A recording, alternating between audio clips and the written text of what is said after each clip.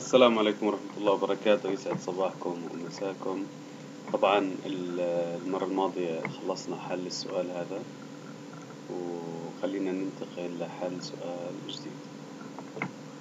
هذا السؤال كنت بدي لكم إياه بس بصراحة هو شوي تريكي فبدي أحله أنا وياكم وعشان تعرفوا كيف آه، خطوات حله إن شاء الله. أوكي. طيب في البداية خلينا نقرأ السؤال together ونحلله وبعديها بننتقل للsolving mode طيب so here example number 5 for identical power transistor with aluminum casing so if you go here you will find that here we have this casing this is case 1 case 2 case 3 أغطية أغطية مصنوعة من الألمنيوم. Okay. So casing made from aluminum. وتحت هذه الأغطية إيش في عندي؟ في عندي power transistor. Okay. وعددهم أربعة. So تحت الأربع أغطية في عندي four transistor. Are attached on one side of 1 centimeter thick 20 centimeter by 20 centimeter square cover plate so this is 1 centimeter and here is 20 by 20 okay this is the other dimension 20 okay. Copper plate so this one is copper plate the one in the gray color. This is copper plate okay. Very good. And uh, the thermal conductivity for copper 386 watt per meter degree Celsius so those four identical power transistor with aluminum casing are attached to the one side of square copper plate by screws. Where, where are the screws? Here. You can see that we have here hole. So those hole, we use them to fix those casing with the blade by screws. Okay that exert an average pressure of 6 megapascal. So here between this case and the cover plate we have what? Once he gave us an information about the pressure that means we have an interface. Let me draw it for you here. Here is the case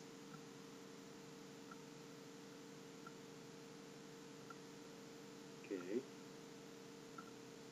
And here is the blade. And here is the screws.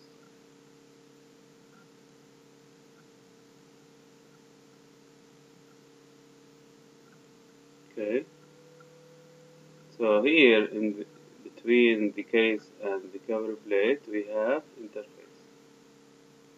So we apply pressure of 6 mega Pascal by those screws. Okay. So this this value tell us that we have a contact conductance or thermal contact resistance. Okay. The base area of each transistor is 8 centimeter squared. So this area, because the case and the transistor will have same area, this area is 8, each area of this casing is 8 centimeter squared. Okay? And each transistor is placed at the center of 10 by 10 centimeter quarter section of the plate. So half of the distance of this one is 10. Okay, and half of this distance is again 10.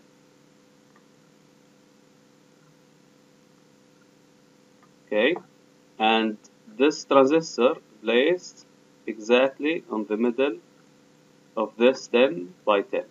Okay, this is the meaning of this sentence.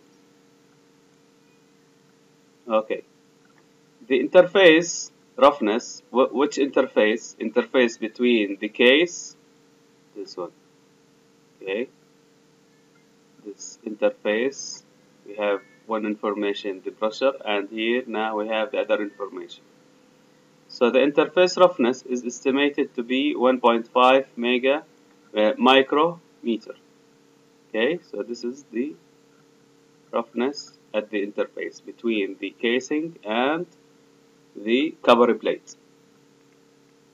All transistors are covered by a thick plexi glass layer. So here is the plexiglass cover and this cover is covering the four transistor okay from this side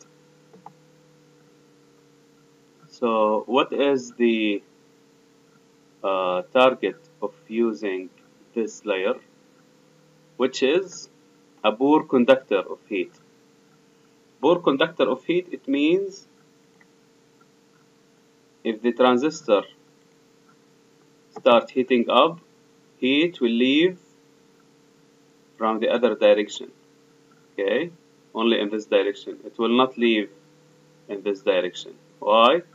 Because this plexiglass acting as insulator okay it is a very poor conductor so there is no heat escape through this layer and thus here here is the explanation all heat generated at the junction of the transistor must dissipated كل الحرارة تنتشر للsurrounding to the ambient at 20 degrees Celsius so surrounding or ambient temperature 20 degrees Celsius through the back surface of the cover plate back surface this surface so كل الحرارة بتهرب من هذه الجهة من هذه الجهة ما في عندنا حرارة okay so there is no heat escape in this direction why because we have a plexiglass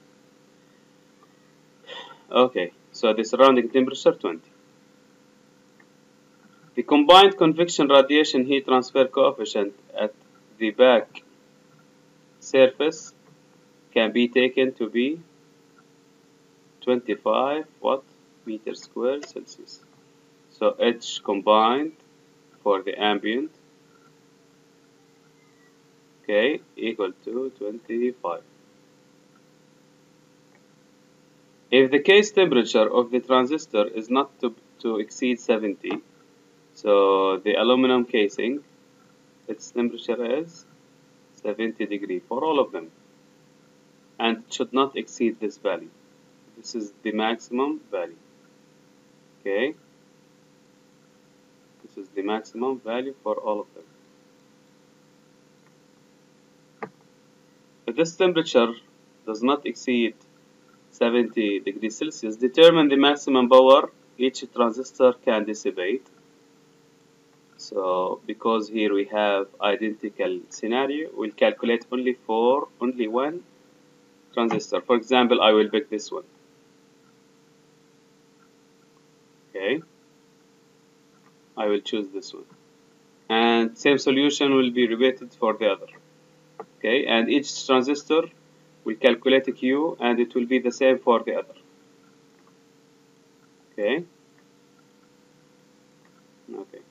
so first requirement calculate the maximum power each transistor can dissipate why maximum because here we have maximum 70 okay it will not exceed this temperature too.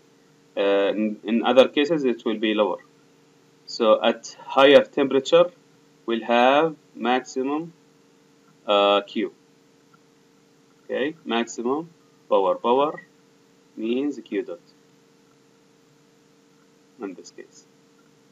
Okay, and the temperature jump at the case plate interface. So we need temperature temperature jump at the interface. Temperature jump means we need to find out delta T. Remember, when we talk about the interface, let me go back a little bit. Yes, here, here we have temperature drop or temperature jump from this point to this point. So we need to calculate the temperature drop. This is the meaning of temperature jump. Okay, let me go back to the question. At the interface, at the case, which made from aluminum, and the blade, which made from copper. Interface. Okay, now let me uh, move to the solving board. And first of all, uh, I will draw one transistor for this problem. So I will draw the cover plate. This is cover. And here in the top we have the casing. Okay. The thickness of the cover plate is one centimeter.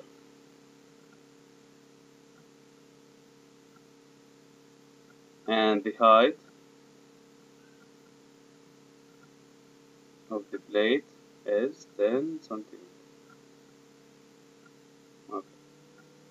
Now, in the question, he did not mention anything about the aluminum casing. He mentioned about the the interface and he gave us information about K for the blade and the question gave us information about H combined. Okay, about H combined. So if I I want to draw the resistance network, I'll start from the resistance of the interface and then resistance of the blade and then resistance of the combined temperature. So here we have T infinity 1 I will call it. Okay, here we have T surface. This is T surface or I will name it T1. Okay, and here we have T interface which is located here. Okay, so this is the interface. And here we have T max, which was 70. Okay, so here we have max.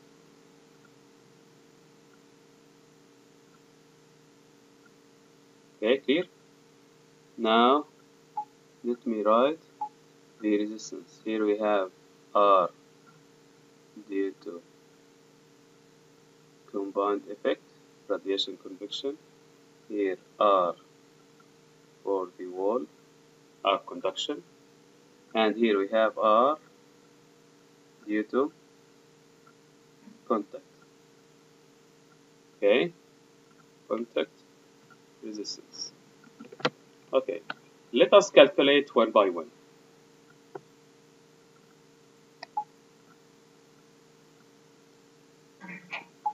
So I will start with the R contact or R interface. And this is equal. 1 over H conductance. And remember we need this resistance in order uh, the R total to be homogeneous equation to be degrees Celsius. There what? But this H conductance is what? There meter squared degrees Celsius so if I need my resistance to be degrees Celsius per watt so I need to multiply this value by cross sectional area okay and this is equal to? So now H conductance is it given in the problem statement? Let me check. So do we have H conductance don't have H conductance. H conductance give us an information of the let me erase everything in here. okay? H conductance give us information about the interface. But in the statement of the problem he gave us two information. The pressure of the interface and the roughness 1.5 so 6 mega and 1.5 micro so let us go to the table where we found or we, we locate the value of the conductance. Remember this table? We said that H conductance depend on four parameter, okay, or three, including the surface condition. Okay, this table earlier we said that we have we have it in two. If we have two interface or two metals or two material of same material identical or dissimilar metal pairs. Okay, so here what do we have? We have aluminum and we have copper, so it, they are dissimilar. Aluminum and copper, here we can find them, aluminum and copper, but which one we must use? We have pressure 6 megapascal, so in this row the lowest pressure is 10 so this one is automatically cancelled. So the pressure is 6 which is very close to 5 okay? Okay and the uh, roughness was 1.5 which is between these two values okay? So this is accepted. Now 6 uh, megapascal which is between 5 and 15 someone of you come and ask me why not to do interpolation? No need okay? I'll take this value as is okay without any interpolation. So 42,000 watt per meter degree Kelvin. So let me go back to the solving board so here I'll write 42,000 and see same unit here Celsius or Kelvin uh, the same. Multiplied by so what is the cross-sectional area of this interface? The interface area is the case area same same of the aluminum casing okay which was where is it? 8 centimeter squared okay. So the base area of each transistor is 8 centimeters squared okay clear? So I will take this value and substitute it in here 8 but this is centimeter squared so in order to convert it to meter we need we need to divide by 100 to the power 2 or 10,000 okay and the answer is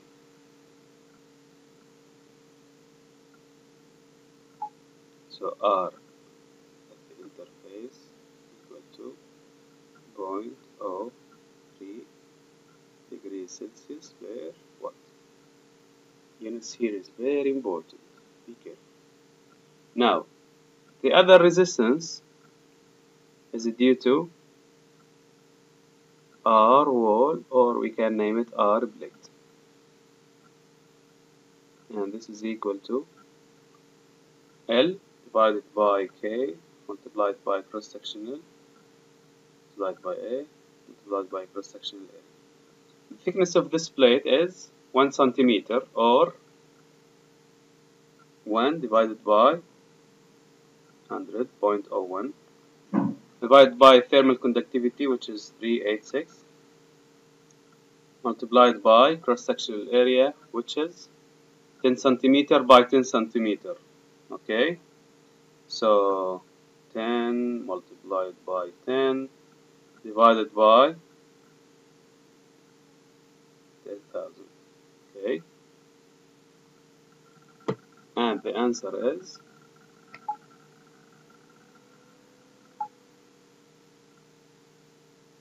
point oh oh two six degrees Celsius per watt. Now we end up with so this is first resistance, this is the second one, and we have the R combined. So three R combined which is equal 1 over h combined multiplied by surface area and this is equal 1 over so h combined 25 watt per meter squared Celsius multiplied by surface area which is 10 by 10 again the same if you multiply 10 by 10 and divide by 10,000 you will get 0.01 so the answer here is 4 degrees Celsius again per watt. Okay, then the R total, R total equal to R combined plus R interface plus R plate. Okay, and the answer is equal to 0.03 plus 4 plus point oh oh two six. So R total equal R total equal 4.0326 degrees Celsius per watt. So first requirement of this problem is to find the power dissipated through the back of the copper plate which is equal to T max minus T infinity 1 divided by R because we know the direction will transfer from the case which is 70 degrees Celsius minus the surrounding temperature 25 okay divided by R total 4.0326 and this is 426 and this is equal to so here sorry this is 20 okay surrounding temperature 20 and this is equal to 12.4 watt okay so this is the first part now part B we need the temperature jump temperature jump let me go back to the verses first. Uh, right. So we need the delta t. Uh,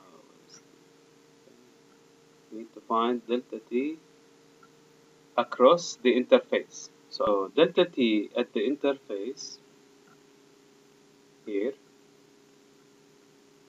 Okay, let me use another color. Here is our interface. Okay. So this delta T equal to Q total multiplied by resistance of this interface. Okay. I go back.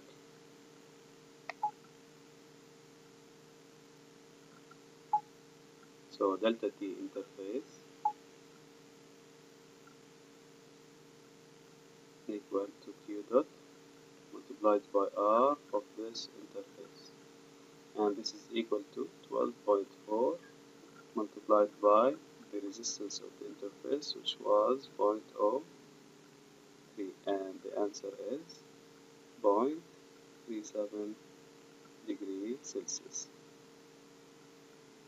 What's this value means? It means if this is the case and if this is the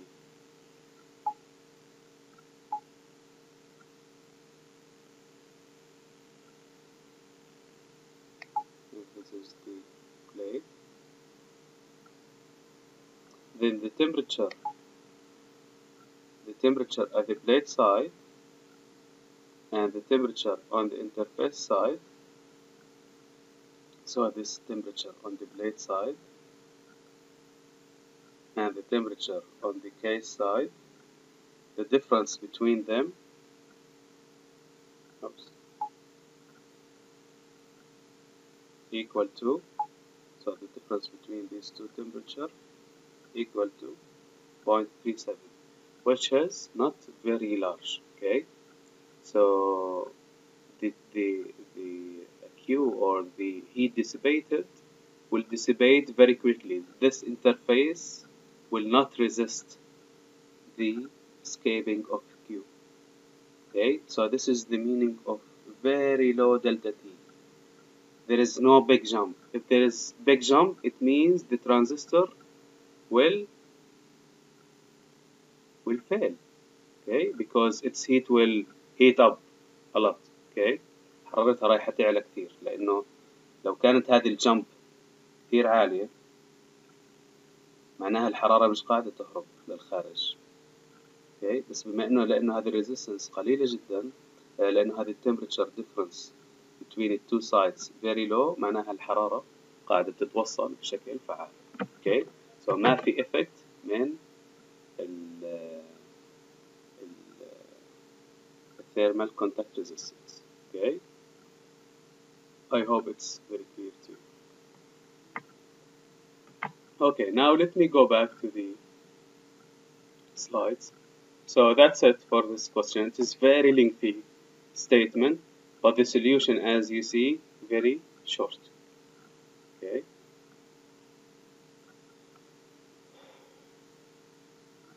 Okay now let's continue with the other uh, conduction coordinate system. Okay so here we have heat conduction in cylinders and spheres.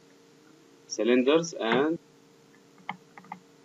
now uh, heat transfer through the pipe can be modeled as steady one dimensional remember the assumption we start with at the beginning of this uh, uh, chapter.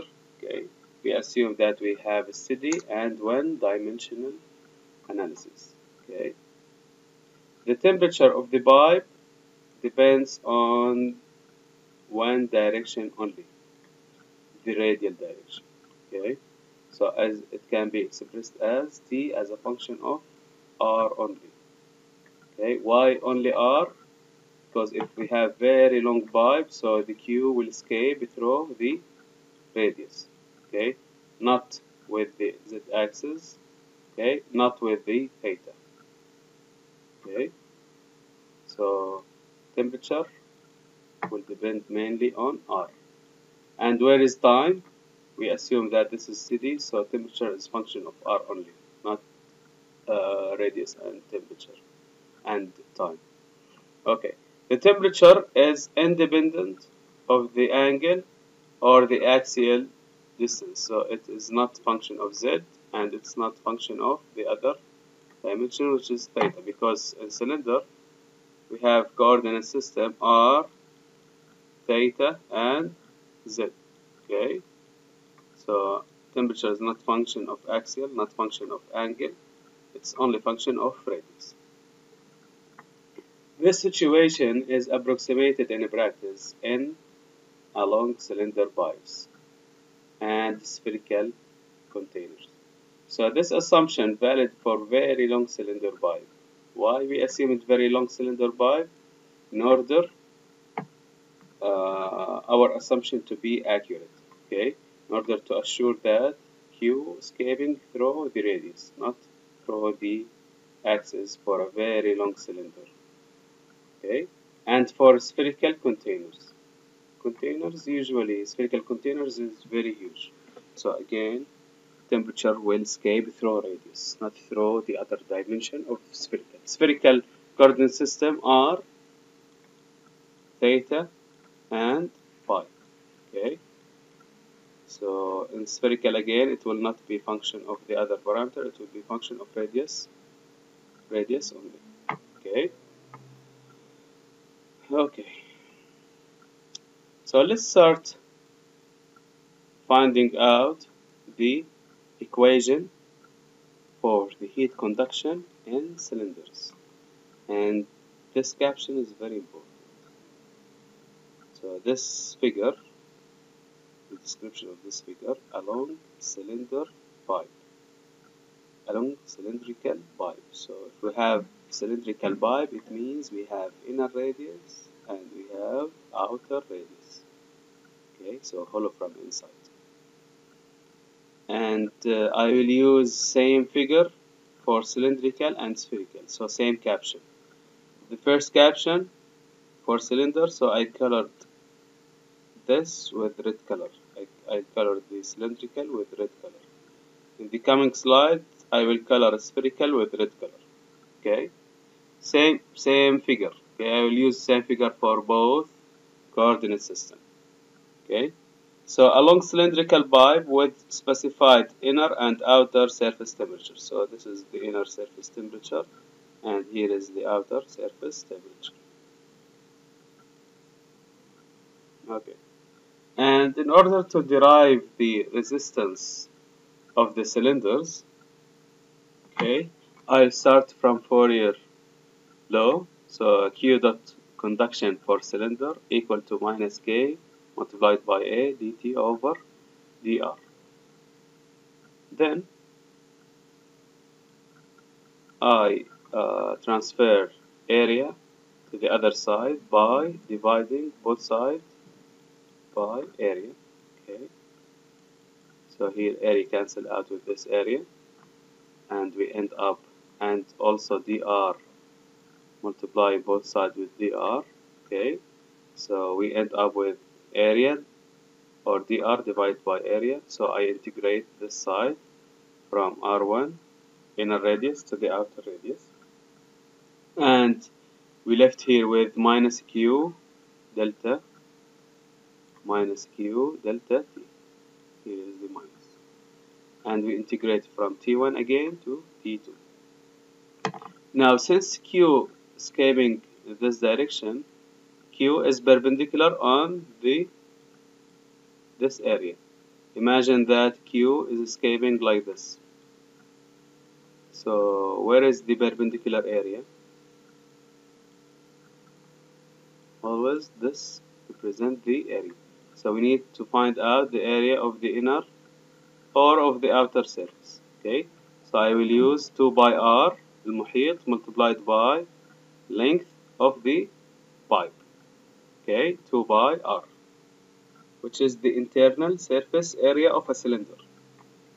So instead of a I'll substitute 2 by 2 by L 2 by R L okay so if I substitute here 2 by R L so 2 by L will go outside of the integration and we left up with integration 1 over r dr. So integration of this term gives us what? Ln r2 minus r1. Okay? So if I put q in one side and everything in the other side, because the q again here is constant. Okay? We said it is steady. So this will go out and we end up with the q dot okay uh, 1 over 2 by L ln R2 over R1 okay and on the other side what do we have?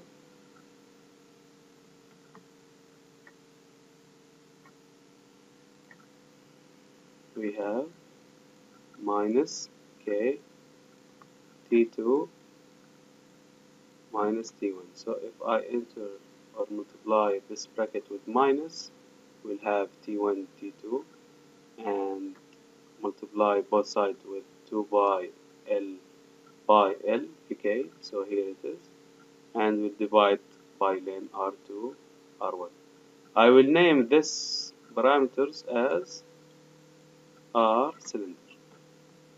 Okay?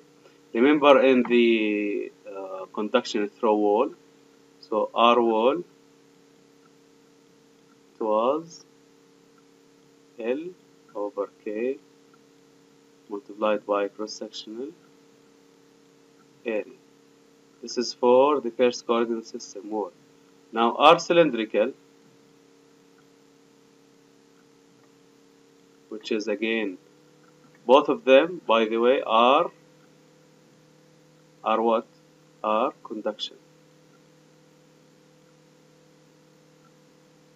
But with the conduction, either we use rectangular coordinate system or wall, and we use cylindrical, and we use R spherical. So this equation we derived it before. Okay. Now R cylindrical equal to equal to this value. Okay. So I'll put it here. Which is equal to len R2 over R1 divided by 2 by LK. Okay. So this is our conduction. Either we use wall coordinate system. So the equation will be L over K multiplied by cross-section area. Now if we have cylindrical coordinate system, our conduction equal to len R2 over R1 divided by 2 by LK. Clear? So we need to be very careful. So the conduction resistance of cylinder layer, cylinder layer means we have inner radius and outer radius. So R cylinder equal to uh, R len R2 over R1 divided by 2 by LK. Len outer radius divided by inner radius over 2 by length of the pipe multiplied by thermal conductivity. If you go back to chapter 2, example number 6, remember this example? What we did in this example? We obtained general relation for temperature distribution inside the pipe for a city. We start from the compact form and then we derive it. We substitute the specified boundary condition and we end up with if you go back to the solution of this example you will end up with this equation. So this equation either we derive it from the Fourier law and we can reach to this result or you can go back to example 6 in chapter 2 and you will find out we end up with same equation okay please go back and check this equation okay so this equation you need to memorize it in the exam okay along with the R cylindrical okay so uh, R for the wall R for cylinder R for spherical all the equation derived here in this chapter you need to memorize it لازم تتذكروها في الامتحانات okay ما راح اجيب لكم very good so this example we solved it already in chapter 2 so I brought it to here just to remember that we derive same equation using other techniques than this one okay here we start from Fourier here in this example we start from compact form so heat conduction in sphere so remember I use same figure as in the previous slide same caption but I color now spherical shell. Spherical shell means we have inner radius and we have outer radius okay? So this is inner and here we have the outer radius with a specified inner and outer surface temperature.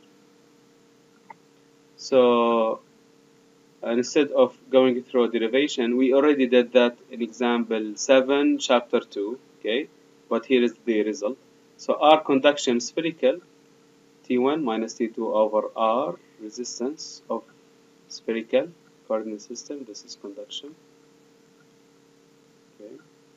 We need all of them to be same. Okay. Compare R conduction for spherical R conduction for cylindrical R conduction for wall. You will find out that we use same format. Okay. The only difference is the value of this parameter so R spherical so conduction resistance for a spherical layer equal to R2 minus R1 divided by 4 by R1 multiplied by R2 multiplied by conductivity. So outer radius minus inner radius divided by 4 by outer radius multiplied by inner radius multiplied by thermal conductivity.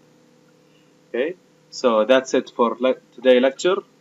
Uh, see you inshallah in the coming.